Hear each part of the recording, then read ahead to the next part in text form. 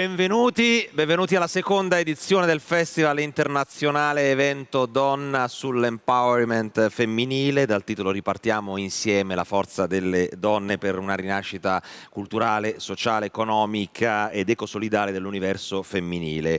Eh, giornata ricca, Maria Grazia Tetti. Savino Zaba, grazie per essere con noi Savino, è per noi Per un grande onore, sì per il secondo anno perché questa è la seconda edizione, tu sei stato la nostra spalla nella prima edizione. Tra, te- tra i tanti uomini presenti a tra i questo tanti evento, uomini diciamolo. perché diciamolo l'empowerment femminile Passa. passa. anche attraverso l'empowerment maschile Esatto, un punto come di in questo incontro, un punto di caso, no? contatto, Eh? evidentemente. in un momento appunto di spettacolo come me e te in un rapporto di coppia in un rapporto di amicizia insomma e questo non vuole essere assolutamente un evento autoreferenziale ma è aperto alle donne e agli uomini Bene, Dunque. sarà una giornata ricca in cui eh, proveremo a parlare di rinascita del mondo dello spettacolo, del mondo della musica, del teatro, eh, perché bisogna ripartire, bisogna ripartire anche dalla forza appunto delle, delle donne in questo caso. Delle donne che tra l'altro sono state le più penalizzate se vogliamo. Noi abbiamo aperto l'inizio proprio la presentazione di questo festival con una presentazione del eh, presidente del Consiglio europeo Davide Sassoli, il quale appunto sosteneva che in questo periodo pandemico la classe più colpita sono state proprio le donne, perciò proprio da loro che bisogna ripartire. Sarà un incontro, un dibattito, un confronto, uno scambio con quattro ospiti che presentiamo subito. Direi Allora, di sì. alla nostra destra, attrice comica di lungo corso, Giulia Ricciardi. Ciao, buongiorno. Ciao Giulia. Buongiorno Giulia. Alla nostra sinistra, cantante lirica e eh, presidente dell'associazione Enrico Toti, Claudia Toti Lombardozzi, ben trovata. Buongiorno. Buongiorno qua. Claudia. Ehm, presidente di Pagaglie Rosa Onlus Pink Butterfly, poi ci faremo raccontare di questo progetto femminile e sportivo. Maria Grazia Punzo è il presidente, ben arrivata. Grazie, buongiorno. E chiudiamo con eh, primo ballerino del teatro dell'Opera di Roma, direttore artistico del Teatro Lo Spazio di Roma, anche eh, a lui grazie per essere tornato per la seconda volta, Manuel Paruccini. In punta di buon- piedi. buongiorno e grazie a voi per l'invito. Grazie Manuel. Allora io mi rivolgo subito alla mia cara amica eh, Claudia Toti Lombardozzi, presidente dell'associazione Enrico Toti.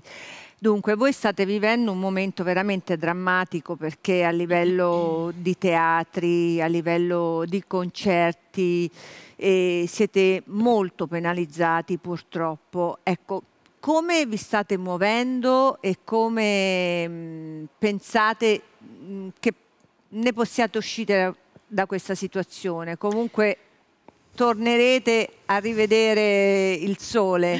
A rivedere le stelle, A come rivedere si diceva stelle. nella trasmissione che è stata fatta appunto dal Teatro alla Scala, una meravigliosa manifestazione che ha proprio eh, diciamo, eh, voluto dare questo messaggio di ritornare a rivedere le stelle con una celebre citazione dantesca.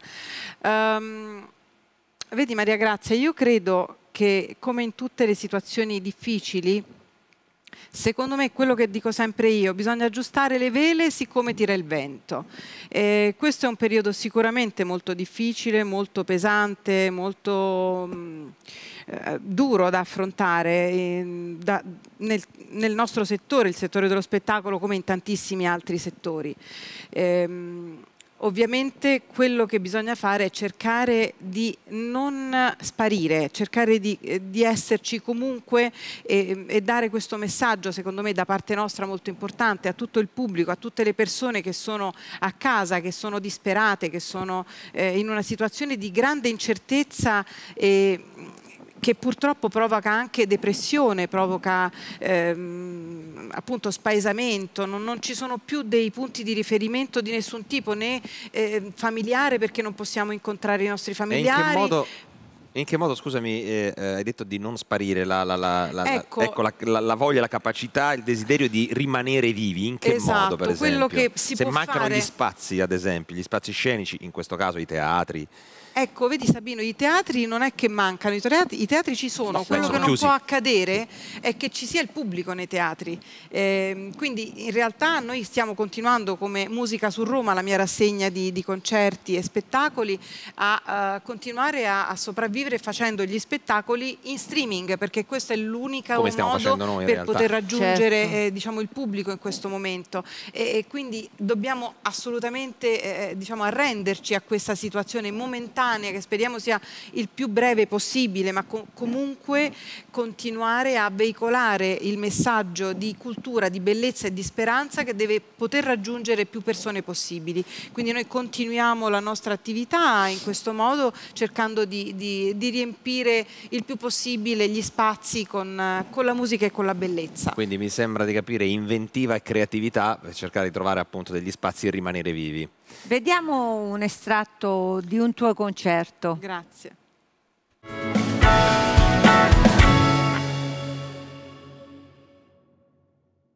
Grazie, veramente è importantissimo per noi che voi siate qui. Eh, ringrazio anche chi ci sta ascoltando da casa. Eh, spero che sia eh, diciamo, una situazione che si risolverà presto questa che stiamo vivendo, anche se eh, appunto noi siamo oh, anche organizzati con queste trasmissioni streaming che salutiamo. salutiamo, salutiamo tutti chi ci sta guardando, sì, speriamo che altre persone si mettano eh, all'ascolto di questo bel concerto. Um, io sottolineo una cosa, Dietro questi concerti c'è il lavoro di tante persone. Io vorrei nominare tutte le persone che lavorano insieme a me per far sì che questi concerti si possano realizzare. Um, io di Napoli, Grazie. che è eh, veramente importante per la nostra associazione perché veramente coordina tante cose, autore, regista, attore, fa tantissime cose. Claudia Natale, altra colonna portante di questa associazione anche lei è attrice, coordinatrice eh, di tantissimi spettacoli. Il maestro Lorenzo Porzio, che è qui in sala con noi, direttore musicale della Musica di Roma, grazie al quale ehm, stiamo vivendo un periodo più eh, diciamo, felice eh, per, per, le sue competenze e per tante altre cose che, che stanno arrivando per la nostra eh, rassegna. Eh, ringrazio anche tutti i tecnici che eh, ci permettono di, di, proiettare e di far arrivare a casa vostra eh, queste bellissime note del maestro Roberto Cappello che ascolteremo tra poco. Io vi ringrazio, non perdiamoci d'animo, signori amici, non perdiamoci d'animo perché è importante mantenerci, eh, mantenerci comunque con un, con un umore alto. Ascoltiamo la musica, continuiamo ad ascoltare la musica, continuiamo a cercare su internet spettacoli e continuiamo ad alimentare la nostra anima con la bellezza. E sicuramente quando tutto sarà finito ci troverà pronti per rivivere insieme queste emozioni dal vivo. Grazie.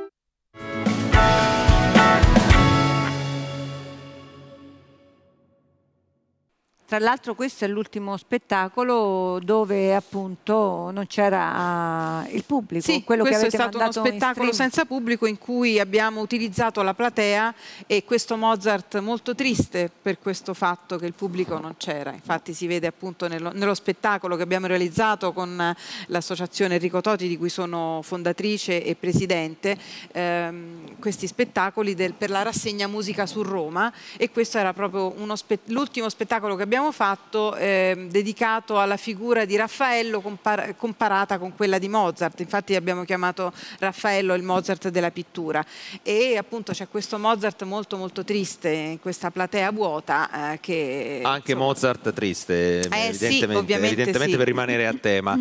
Giulia Ricciardi, allora inventiva e creatività, voi comici oh, di inventiva noi... e creatività ne avete a volontà. Noi sforniamo delle esatto. idee una via l'altra. Ma esistono punti nodali eh, su cui fare forza per cercare di uscire da questa situazione? Secondo te quali, quali sono? Guarda, ci stiamo provando. Secondo me bisogna guardare mh, innanzitutto in faccia il problema veramente, perché eh, si rischia di, di, di credere che il teatro muoia a causa del Covid. No, aveva altre patologie. Eh, mm, pregresse. Pregresse, sì perché il problema del teatro in Italia è intanto la scarsa attenzione nei confronti del teatro da parte delle istituzioni, da parte... Noi facciamo sempre molta fatica a portare il pubblico a teatro. E il teatro senza pubblico non esiste, quindi noi possiamo pensare alle piattaforme, possiamo pensare allo streaming, possiamo fare di tutto perché, perché lo possiamo fare e lo, lo facciamo, lo faremo, ma il teatro è teatro a teatro, con la gente, col pubblico e non c'è quell'attenzione che c'è per esempio in altri paesi, mi riferisco, non sono un'esterofila, eh, lo, lo, premetto mm, per carità, però eh, basta andare a Londra, basta andare a... Parigi stessa. Eh, sì, assolutamente, cioè sono, c'è un altro atteggiamento perché il teatro è un anello della catena economica, muove eh, comunque l'economia questa attenzione qui stranamente non c'è ed è strano perché in realtà è un'arte di cui noi sappiamo parecchie cose.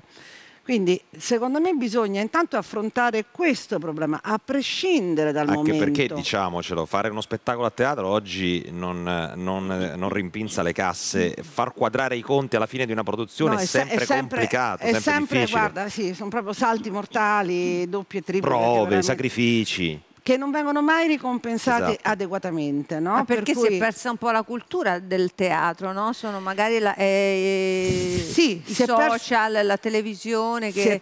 Sì, ecco, ha preso il posto del, eh, la televisione della cultura per, del teatro. Delle... No, ma la, la, televisione che come mezzo, per carità, è fondamentale, però anche qui eh, voglio dire il personaggio televisivo che è solo personaggio, non è attore, no? e, che viene poi messo sulle tavole di un palcoscenico che invece aspetterebbero a dei professionisti che hanno studiato per fare quello, perché noi abbiamo studiato eh, per fare questo lavoro, non è che ci siamo improvvisati, quindi eh, voglio dire anche questo non va bene, poi però il pubblico eh, che è quello riconosce nel cartellone il nome, eh, esattamente, quello che può il fare un po' è, è, è prettamente televisivo e quindi ultimamente c'è un'altra, un'altra usanza che è abbastanza a me fa un po' paura, che è quella di prendere, diciamo così, l'attore in base ai follower di Instagram, che, che, ehm, ah.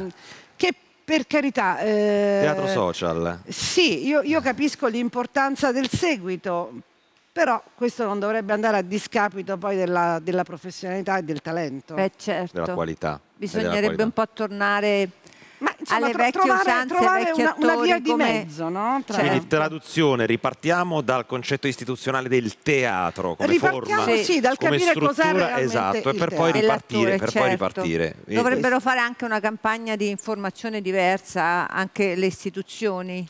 Beh, occuparsene, avviso. perché eh, poi alla fine non c'è proprio la preoccupazione. Portare no? anche i nostri figli un po' più spesso certo. a teatro, quindi partire dai più giovani. Partire a proposito di teatro, scuole. vogliamo rivedere un momento, eh, anzi più che teatro, insomma, un momento in cui racconti proprio di donne. E rivediamo in, eh, questa, in questo servizio Giulia Ricciardi.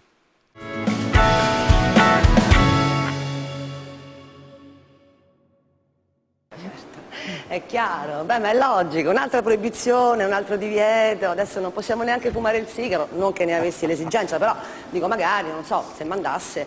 E invece niente, beh vabbè ma non rientra tutto in un discorso che già conosciamo perché noi donne non possiamo fare un sacco di cose, eh, no perché la società è al maschile come sappiamo, beh ma questo è un problema biblico eh, perché nasce con Adamo al quale Eva fu donata perché lui si sentiva solo il primo esempio di badante senza contributi. Ecco.